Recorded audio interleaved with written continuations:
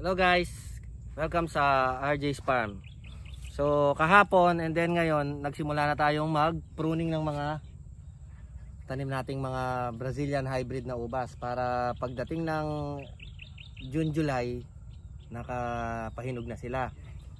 And then kahapon nga pala nagpadala na rin tayo ng mga may bumili ng mga cuttings natin. So ang ang client natin sa Tagum, Davao del Norte pa yung ano niya. So umorder siya ng 200 pieces na Brazilian hybrid na cuttings at saka pinadala sa LBC. And then ngayon may mga order pa rin tayo na almost 100 pieces din na yung iba taga Palawan, yung iba taga Aklan.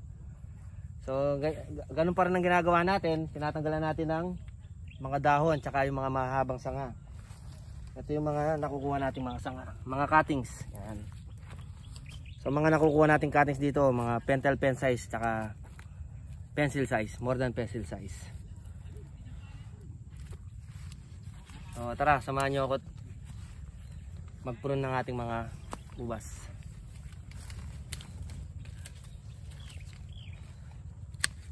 So ang ginagawa natin dito, dahil papaship natin sila sa LBC, kalaan yung sa cuttings ay mga 9 inches o kaya 4 nodes. Kaya ng 1 nodes. 1, 2, 3, 4 so dito natin ikakat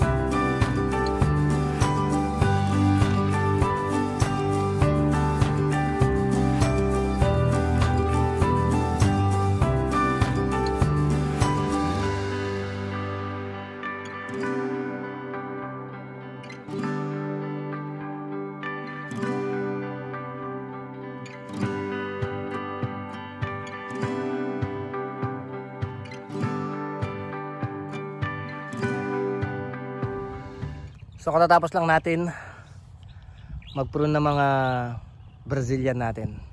Yan. Bali yung mga nakuha natin mga cutting dito, may mga order na tayo. May mga almost 200 cuttings ulit dadalhin sa Puerto Princesa, Palawan, tsaka sa Aklan. So dito sila kumuha ngayon kasi doon sa La Union, off season sila ngayon. So naka nakapabunga na sa kanila samantalang tayo pabunga pa lang. Kaya medyo na-timingan yung pag order ng mga buyer natin. And then siguro babalikan natin mamayang hapon to at mag lilinisin muna natin itong mga dahon nya so hindi na natin maano kasi medyo mainit na. Alas 10 medya na.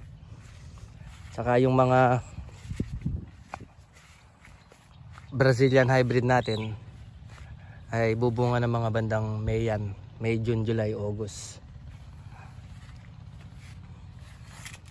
Pero itong mga katawba natin, ayan, may mga bunga na rin. Tsaka yung mga black river natin, may mga malalaking bunga na.